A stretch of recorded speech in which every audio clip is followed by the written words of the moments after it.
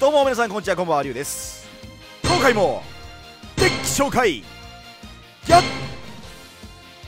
ていきたいと思います。さあストラクチャーが実装になりました。レッドデーモンズドラゴン大好きな皆さん。来ましたよ。レモンがね860円で860円ドラゴンでね。860円ドラゴンが来ました。えー、今回ストラクチャーが本日の12月の1日のなんか0時？なんか俺寝てたんだけど、えー、実装になってまして、えー、朝っぱらから撮影しております。えっ、とねあのバスターモードいわゆるバスターモードっていうまあこれ青春を過ごした方もなんか結構多いんじゃないかなと思うんですがバスターモードっていうこのトラップカード。これでえっ、とねシンクロモンスターをそのなんとかかんちゃらスラッシュバスターっていうこのモンスターに変身させるよっていうカードなんですけどえこれが実装になりましてこれね結構最近のカードなんですけどサイキックリフレクターっていうねこのえっ、ー、とね OCG でもまだバリバリ現役に活躍しているクソ強いカードなんですよ。これ簡単に言うと1枚でシンクロ召喚がレベル6からレベル9自由にできますっていうカードです。あのー、簡単に言うとね。で、えー、今日はですねまあもちろん来たのはえっ、ー、とレッドデーモンズドラゴンスラッシュバスターしか来てないんで今日はこいつを全力で全力で活躍させていくっていうそういうデッキになってます、えー、デッキの内容がこちら。本日のデッキがこちら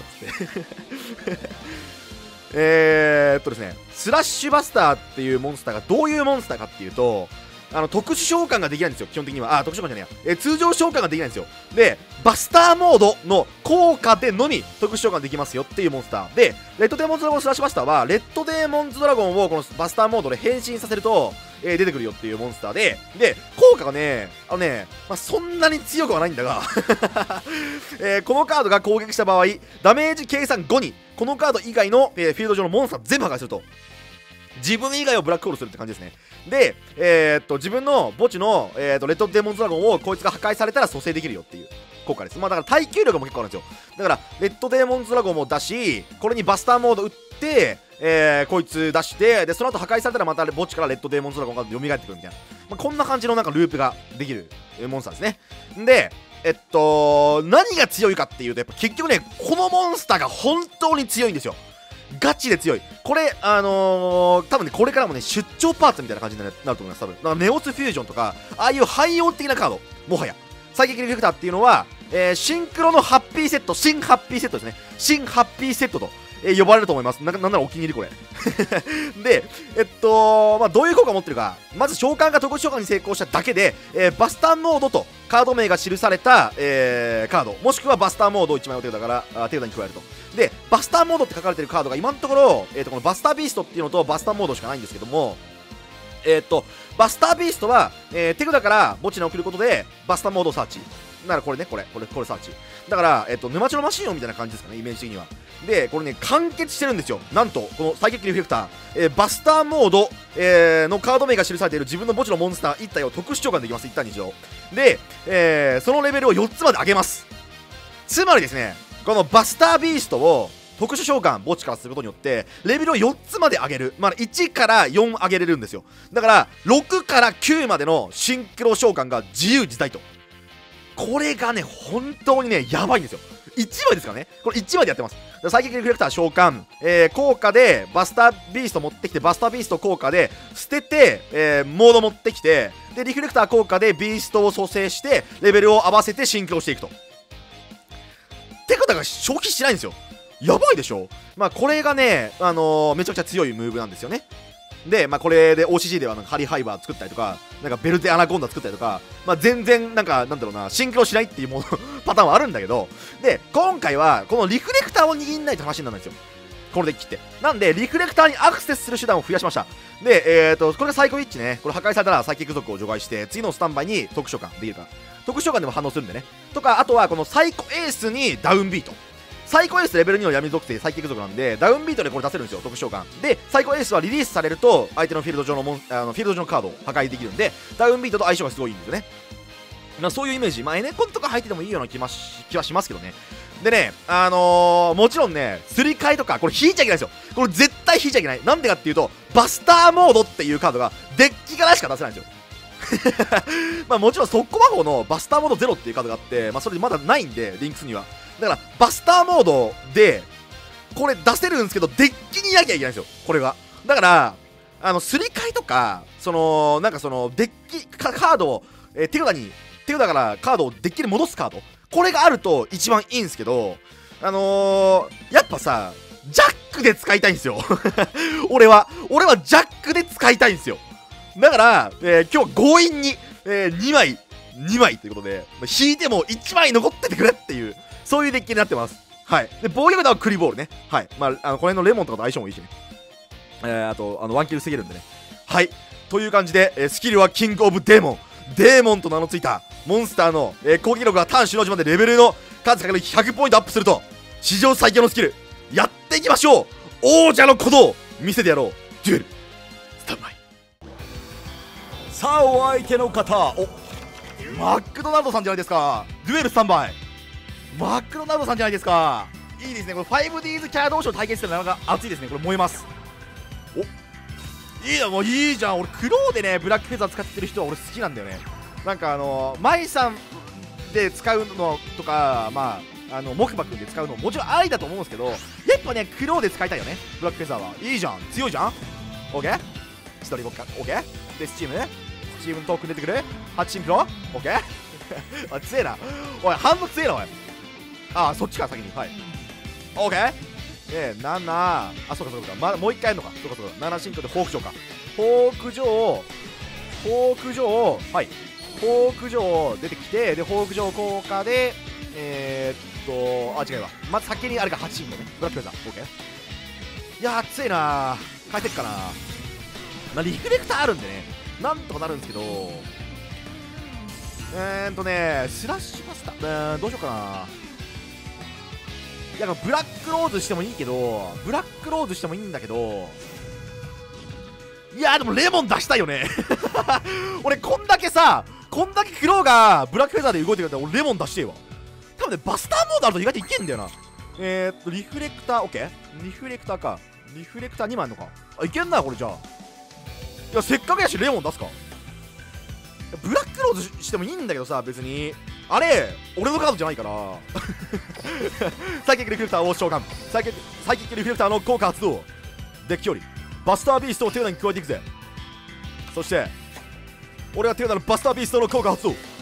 バスタービースト墓地の振りバスターモードを手札に加えていく。そしてサイキックリフレクターの効果発動。手札のバスターモードを相手に見せることによって。墓地のバスタービーストを特殊召喚していく。レベルはもちろん3つ上げるぜ。いっけバスタービーストそしてレベル7バスタービーストにレベル1サイキックリフレクターをチューニング。見せてやろう黒これが俺の魂のカードだ。王者の鼓動。今ここに列をなす。天地明道の力を見るがいい。シンクロ召喚。我が魂。レッドデーモンズドラゴン。最強にかっけえ。スキル発動キングオブデーオンだ。いやバトルだ。くらえアブソリュートパワーフォース。これまあどれでもいいな。どれでもいい。北上いいだろ。オッケー。よし。ターンを終了だ。いやーかっけえわ。この対面めちゃくちゃ遊戯をしてる感あるわ。やばすぎ。オッケー。フォーク上オッケー。でフォーク上効果で千鳥特殊感パクスキルケロアサートブラックフェザー。ガン決めのエリカ。そして舞い上がりブラックフェザー。オッケー？あ強いな。あ強いだ打点高えな。打点高えなおい。それだけって。やめよ。バスターモード発動。灼熱の鎧を身にまとい。王者ここに降臨。いでよレッドデーモンズドラゴン。スラッシュバスター。死んでいく。レッドデーモンズドラゴンスラッシュバスターの効果墓地のレッドデーモンズドラゴン一体を特殊召喚していく。現れよ。我が魂レッドデーモンズドラゴン。かっこいい。最強にかっけえ。よし俺はえー、っとサイキックリフレクターを攻撃表示で召喚。サイキックリフレクターの効果発動。バスターモード手札に加えていくぜ。多分ねこれで返せんだよな。これどうしようかな。ちょっと待ってね。バスターモードもあるしえー、っとこれは、えー、ブリューナクですかね。あこれ3体戻してやろうぜ。えー、バスターモードテューダーのバスターモードをアイテムしてバスタービーストを特殊召喚。えー、っとレベルが1ですね。1上げてバスタービースト。そしてレベル5バスタービーストにレベル1サイキックリフレクターをチューニング。封印されし棟梁よ今その自爆を解き放ち破滅の雄たけびを上げよう。シックの召喚。氷結界の竜ブリューナク。ブリューナクの効果発動手札を2位の枚数墓地に送り貴様のフィールドのカードを送った枚数分手札に戻す。帰れ帰れスキル発動キングオブデーモン。いけアブソリュートパワーフォース。対戦ありがとうございました。さあお相手の方エスパーロバ君よろしくお願いします。デュエル3倍あそうあのねサイキックリフレクターなんですけどサイキック族なんであのエスパーロバの宇宙の法則っていうスキルがあるんですよ。1000ライフ減るとえーと、サイキック族をあの持ってこれるよっていうスキルなんですけどあのスキルとかでもサーチできます一応。1000ライフ、まあ、小伝いとかで一応そのデッキトップ。まあ要は召喚召喚獣じゃねえや、えーと、アレイスター引く時のあの窓を召喚みたいな感じですね。多分この人もそれについて掘ってんじゃないかなと思うんですけどこの子ムービー弱えなドロー。えー、っと最後はです、ま、僕はちなみにもう掘り終えてますけどね。さあダウンビートの効果を発動したがいいか。ダウンビートの効果発動。フィールド上の闇属性レベル2サイキック族モンスターを1体リリースし。デッキより、えー、レベル1サイキック族闇属性モンスター1体を特殊召喚していく。サイキックリフレクター特殊召喚に成功した場合の効果発動。デッキよりバスターモードもしくはバスターモードと名前が記されたカードを手札に加えることができる。さらに最高エースの効果によって相手のフィールド上のカードを1枚破壊していく。噛まないで言えた。バスタービースト手札に加えていく。そしてバスタービーストの効果を発動したいがいいか。バスタービーストの効果。バスタービーストを墓地の栗。デッキよりバスターモードを手札に加えていく。そしてサイキックリフレクターの効果を発動したいがいいか。ななんもねなんだあれ。えー、バスターモードの効果。バスタービーストを墓地より特殊召喚。えー、っとレベル3現れよ。バスタービースト。そしてフィールドにはレベル1のモンスター。そしてレベル7のモンスター。レベル7サイキックじゃあバスタービーストにレベル1サイキックリフレクターをチューニング。スキルは早めに掘った方がいいぞ。俺はそれに気づいて昨日2時間かけて昨日の段階で2時間かけて宇宙の法則はもう掘っておいた。王者のことを今ここにいると思います。天地明度の力を見るがいい。これがキングの魂だ我が魂レッドデーモンズドラゴン。かっこ860円。そしてカードを1枚セットしスキル発動キングオブデーモン。パワーで押し切る。いけレッドデーモンズドラゴン。アブソリュートパワーフォースやばすぎる。やばすぎ。楽しい。やっぱこのキャラクターでこのカードを使うっていうのが楽しいですよね。いや強いな。ただ強いなおい。ただ強いぞ。打天使の追放いいだろ。追放いきとくかな。えー、オッケー？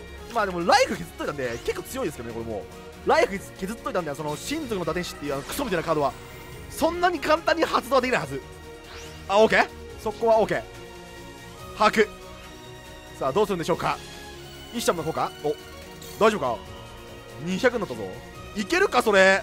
もう親族発動できないぞ。大丈夫か？ロバくんよ。おおまあまあまあまあまあまあ、そうだよねまあ一応セットするしかないか確かにセットするしかなくてえー、っとセットするしかない OK これそれ親族なそれ親族まあちょっと小伝い入ってないんで小伝いちょっと枠ないっていうあ何やるじゃないかデザイア OK バスターモード発動フィールド上のレッドデーモンズドラゴンを一体墓地のくりレッドデーモンズドラゴンスラッシュバスターをデッキより特殊召喚していく灼熱の鎧を身にまとい王者ここに降臨いでよレッドデーモンズドラゴンスラッシュバスター。つえかっけさあどうするエスパルバよ親族はあるらしいな。テルナに打天使はいるのか？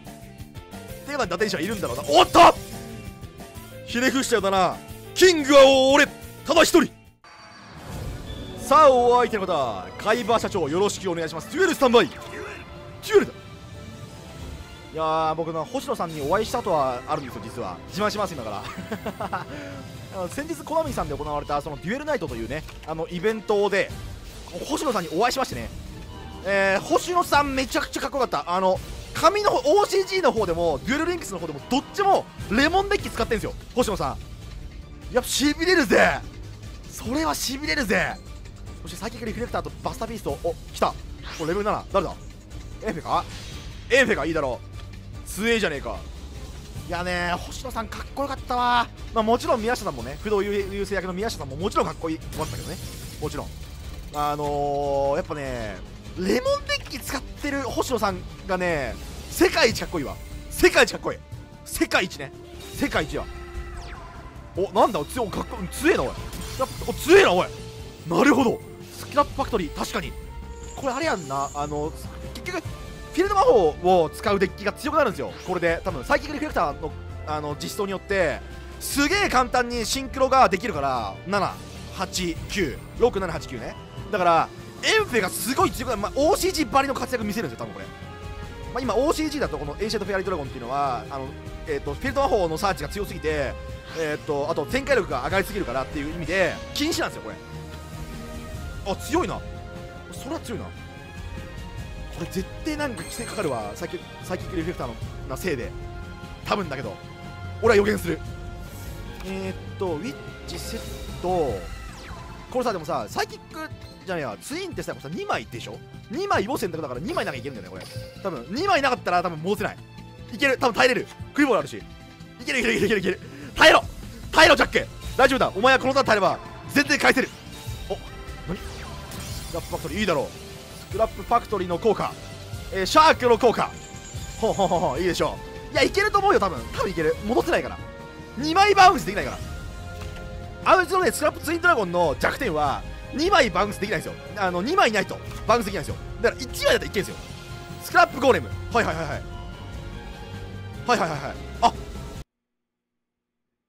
やばい。いやそれはやばい。やめろって。やめろよ。お自作自演すんのやめろよ。はクリボール。ゲーは強強 eat